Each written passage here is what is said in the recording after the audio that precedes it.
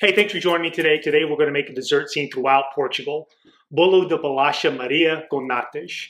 This translates to Portuguese biscuit cake with cream. It's a take on a classic that's been around for many years throughout Portugal. You'll see it in all parts of Portugal, the Azores, Madeira Island, the mainland. The staples to the dish are these little Maria biscuits. If you haven't had them before, they're like a cookie, really mild sweetness. First time I was in Madeira Island, I was about five, six years old and I just fondly remember my grandmother giving me these all the time. And for years, I thought bolacha was a Portuguese cookie. But after doing some research, I found that the first Maria bolachas were made in England in 1874 by a company called Franz.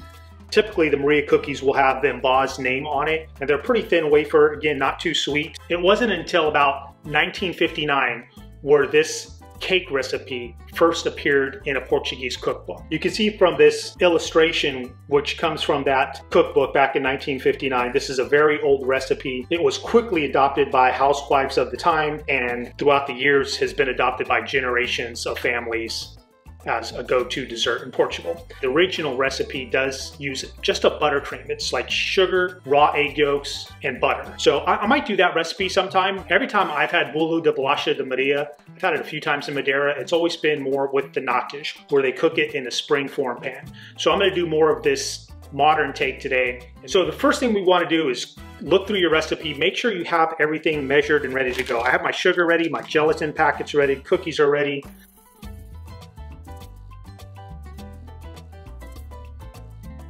That first Portuguese recipe back in 1959, you know, there were kind of similar layered cakes with that cookie before, but what really stood the time of this being a Portuguese recipe is that they're always dipped in coffee. First thing you should do is make sure your bowl and whisk are cool, especially if you have a warm house, because whipped cream holds up better and whips up easier if, if everything's cold. So you want to make sure your heavy whipped cream or whipped cream, those are interchangeable. Heavy whipped cream has a little more butter fat that that's kept in your refrigerator until right before you're going to use it. So my cookie's ready, my coffee's ready. I'm going to use milk also in this recipe. Evaporated? Milk is just milk with 60% of the water taken out.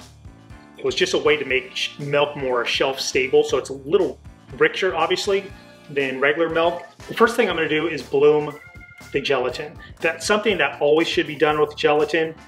If it doesn't bloom, it could clump up. You have to give it time to absorb some water. And you could use any liquid that has water. So I'm gonna use this milk. I'm only putting about a quarter cup milk in there.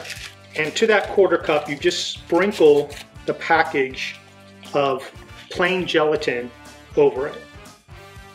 And you want to give that a little bit of a stir. I just use the back a fork. You could let it bloom 10 minutes while it's blooming, we'll whip the whipped cream. So the reason we're using gelatin is because we're whipping cream, we're gonna add some milk to it, and you wanna stabilize that a little bit so it doesn't weep, so it holds up and doesn't fall apart. If you just whip the cream, after a while it does start to lose its body, the structure breaks down, and sometimes it'll start to weep out like liquid. The way gelatin does that, gelatin is actually collagen proteins that when boiled, the proteins open up and become untangled and then as it cools down it starts to form little it forms little spaces that trap water and hold the water in those little spaces so the water can't get out. So that's how gelatin makes jello.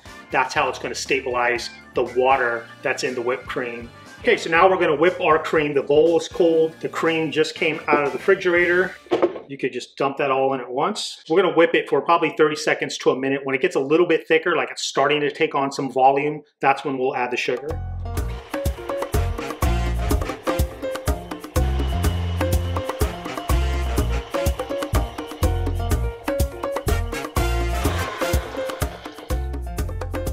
You can do this by hand. It just takes quite a bit longer.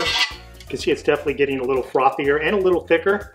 That's about the right time to start slowly adding the sugar in. So that was, so I whipped it, that was probably like 30 seconds at pretty high speed. If you're doing this by hand, it might take, you know, three minutes to get to this stage. And now we'll start adding the sugar.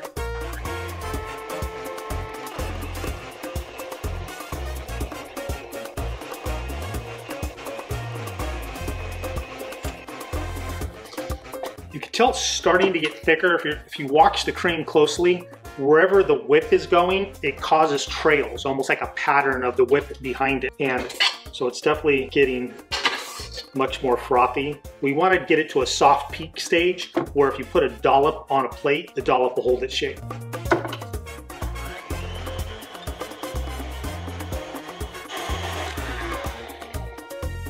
You can see it's sticking to the beater. If I put a dollop on a spoon, it holds its shape really well. I'm gonna put this in the refrigerator while we move to the next step.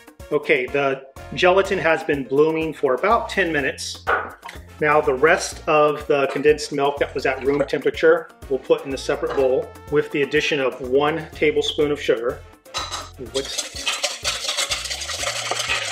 In order for gelatin to have its effect, it has to be warm. Those proteins have to untangle and then it's when they start cooling down, they trap the water inside the little pockets. So I'll put this on a stove top. You just wanna bring it to a simmer. So simmering is about 190 degrees boiling's around 212. You, you don't want, you definitely don't want to boil it for a long time. Anytime you're making Jello, once it starts to bubble up, that's as far as you have to take it. You actually could damage the gelatin if you boil it for quite a while. Just about all the products I use from the little stove range top to these heat-proof silicone spatulas can be found on my website, justcookwithmichael.com. I have a lot of the equipment on there and I do get a little percentage of that to help me keep the program going. So if you like any of these items, just click on one of the links you'll find. It's also in the description area of YouTube. There you go. You see your little, little bubbles are starting to form right there, right there, little convection going on. And the temperature is one 191. So exactly when you see little bubbles forming, you are there. 197 200 starts going up really fast from there. Turned off my electric burner. So i'll set this gelatin mixture aside for about two to three minutes while i get out the whipped cream and the stand mixer. Okay it's been two minutes since i took the gelatin mixture off. So it's still really hot just again you don't need a thermometer here but it's still about 150 degrees, so still really warm. Now it's going to go into the rest of my milk, and I'll whisk that in here. So now all the condensed milk is in this bowl with the gelatin. And this bowl is a little warm. That's fine. This bowl is around 90 degrees now. All right, this is a little warm, but that's okay. You know, you don't want your, if your gelatin got cold, like refrigerator temperature, this would turn into a solid mass, a really firm piece of jello. You don't want that. So you want it to be warm, but not hot.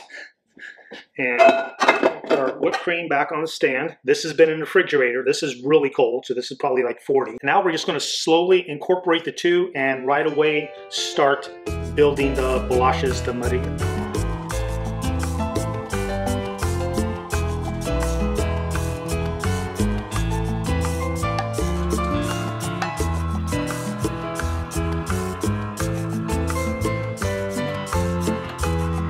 Right now at this point, you're just combining the mixture, you know, as long as it's all one homogeneous mass.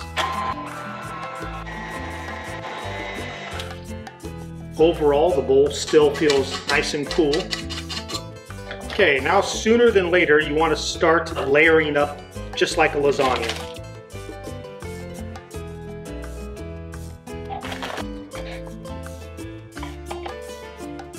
And you could break them up a little bit also because you want to fill in especially any big gaps.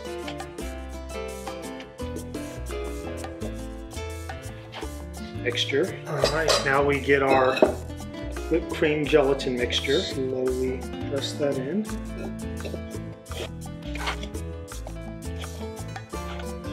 And then it's just a pretty thin layer, maybe millimeter to an eighth of an inch. Get more cookies ready. One, two, three.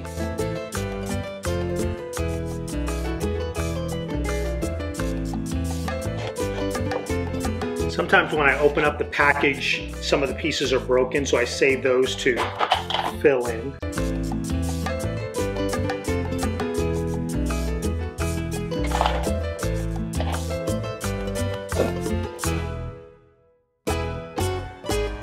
Tiramisu is made in this similar fashion, that Italian dessert where you're taking lady fingers, dipping them in espresso, and then with, I believe it's mascarpone cheese, you layer them up in similar fashion.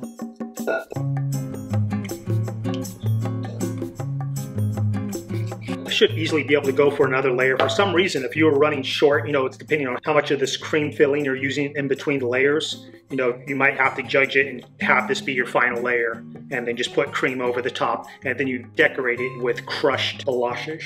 As your top layer of cream is probably the layer you want to use the most whipped cream on.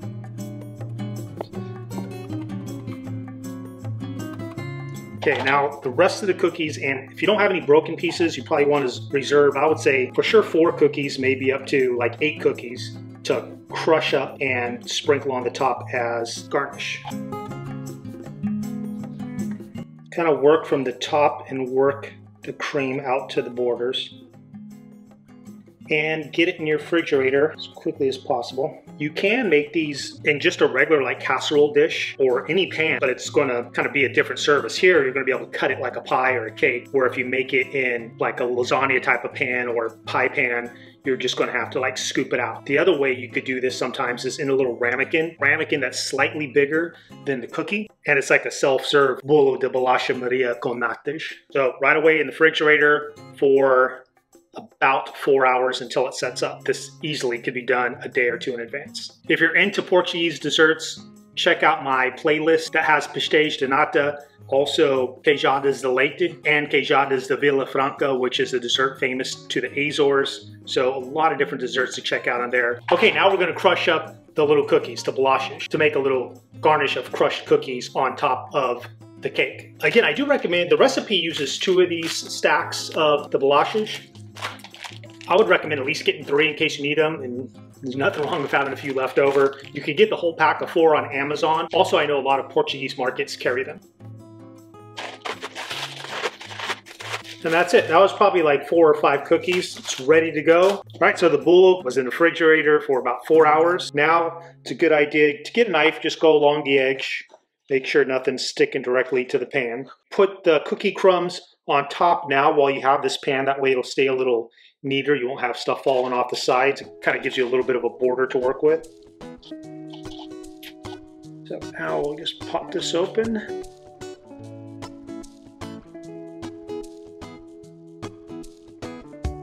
Oh, look at that. Yum, yum, yum. There you go. Look at that nice profile on there. The little layers in between. Just a very beautiful cake.